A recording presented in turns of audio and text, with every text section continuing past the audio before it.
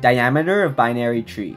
Given a binary tree, the diameter of a binary tree is the length of the longest path between any two nodes. For example, consider the length of the path between nodes 5 and 3. There are 3 edges along this path. Similarly, there are 3 edges between the nodes 4 and 3, and so therefore the diameter of the tree is the length of the longest path between any two nodes, which is 3. We will solve this in O of n time. The idea is to keep track of the height of each subtree and update a global variable for the diameter as we go. We first pass in the root node node, and we recurse on its left and right subtree, and further recurse on their left and right subtrees. Let's first consider the recursive step on node 4. It has no left or right subtree, and therefore there is no diameter on this subtree. And lastly, we return the height of its subtree, which is 1. Now let's consider the recursive step on node 5. It has no left or right subtree, and therefore there is no diameter on this subtree, and so we return the height of its subtree, which is 1. Now let's consider the recursive step on node 2. We get the height of the left subtree and the right subtree, and we add them together, and we update the diameter if it's greater. And now we need to return the height of its subtree, which is equal to 1 plus the max of the left subtree or the right subtree's height. In this case, the height at this node is 2. Now let's consider the recursive step on node 3. It has no left or right subtree, and therefore there's no diameter on this subtree, and so all we do is return the height of its subtree, which is 1. Now let's consider the recursive step on node 1. It has a left subtree of height 2 and a right subtree of height 1. And so we can calculate the diameter by taking the sum of both the heights, and we can update our global diameter. And lastly, we can return the height, which is equal to 1 plus the max of the left or right subtree height. At this node, the height is 3. At the very end, we return our global variable diameter. And here's the code to do so.